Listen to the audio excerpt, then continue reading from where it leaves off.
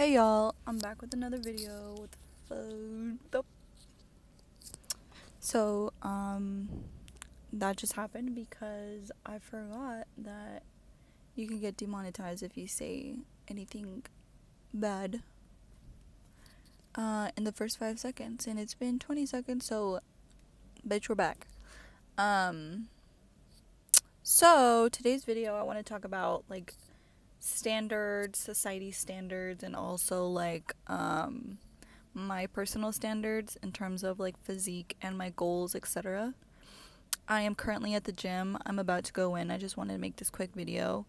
Um, I really like talking about this type of stuff because it just shows my progress and it also like keeps me in check or like I am able to kind of like express how I feel about certain things in my life.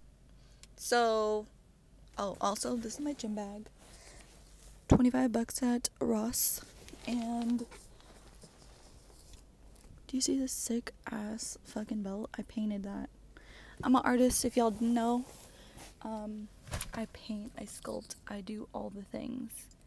Um, hopefully in the future, no, no, no, not hopefully, I will be having um, my own brand and my merch, and also like obviously my own um, business for my art. So look forward to that in the future. Anyways, back on track.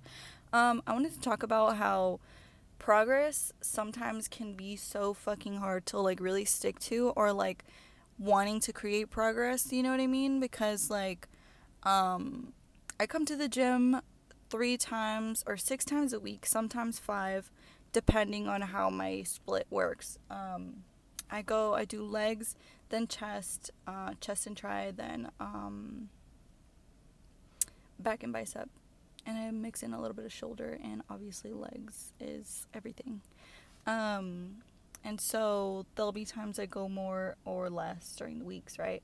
Um, I've been consistently working out, like really pushing myself to like my limits and to like to failure also like um, this is the first time in my life that I actually really do push myself. I have a program that I made for myself, like that I'm following something and being consistent, right?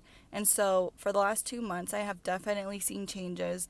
Not necessarily a lot in um, like my weight change, but I have seen changes, my physique, and in the way that clothes fit me. I've noticed that I've been more confident etc., etc., right? Um, I will put some pictures up right here. This is what I look like right now.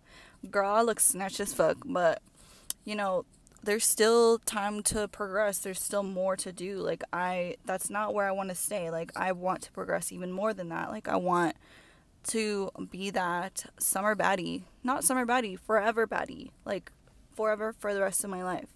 Right? And in this process, in these two months, I've learned that, you know, it takes time. For a long time, like multiple times actually, I did this thing where it was like a challenge and basically you would do like six weeks straight of like a cut, like a strict, strict, strict, strict cut.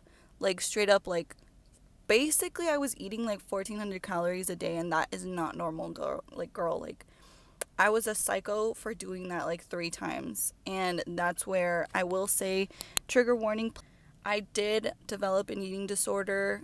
Not even before that. Before that, I had an eating disorder in high school. I wouldn't eat, and I actually de- developed anemia. I'll talk about that in another video in the future.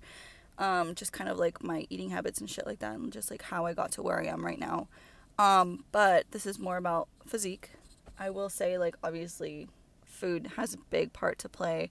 I've been counting my calories, tracking my macros. One thing I will say is I haven't been super consistent in meeting my protein. Like I've been more more focused on meeting my uh, calories than I have my protein, and I think that's why I'm not seeing the progress that I'm wanting to see. I am seeing progress, but you know, everybody wants more. You want to get better. Like there, there's no limit to how much I can progress. And so that's why I'm like sometimes I get frustrated with the fact that I'm not progressing within like 2 weeks or a month. And the reality is like our bodies are not meant to fucking change from a circle to a stick in like a month or two. Like that's not reality. That's not the way the body works. That's not the way the body functions. And I know this and I gaslight myself telling myself that like like I know this because I studied kinesiology, I studied biology, I went to school, I went to college, like I graduated. Girl, you know what the fuck you're talking about. You know this and yet you still gaslight yourself? Dumb bitch. Anyways. Um I really do get frustrated even though like I know these things. I like make myself feel like I'm not doing enough and therefore trigger myself to like um not eating and or binging because I'm like, well, it's not fucking working, so might as well just give up. But no, girl. To delete a whole bunch of apps to like fucking record this video. Anyways, what I was saying is that it's inevitable that it's going to take at least a year to fully get to like where you really want to be. Like you can't expect to be a different person in 6 months. And it if it does happen in 6 months then that's fucking great, you know? But like you need to have like realistic expectations of what your fitness journey is going to look like and how long it's actually going to take. Um that being said, you know, I need I'm telling myself this right now. Like I need to listen to myself at this point. Like, girl, you need to chill. It's only been 2 months. You still have 10 months technically to make a full year. And that's when you'll really see if what you're doing is paying off and you have to stop thinking that you have to make all these different types of drastic changes to get there. Like no, you just have to be consistent. You have to be committed and you have to be determined, be disciplined, you know? That's where you know the progress comes and that's what i've seen. And I personally like i get addicted to progress and seeing progress and so when i'm not super progressing or like i'm not seeing drastic changes like i get stuck and or slumped and or frustrated because i'm not looking the way i want to or having too high of expectations of myself. And so i guess what i'm trying to say with this video is like a girl have realistic realistic expectations, write down your goals, be committed, be determined, don't or be disciplined, girl. Like that's one of the most important things. Like have discipline and that's how you're going to get to your goals. Stop thinking that you're going to change within like 2 months. And you know, this shit is hard to hear.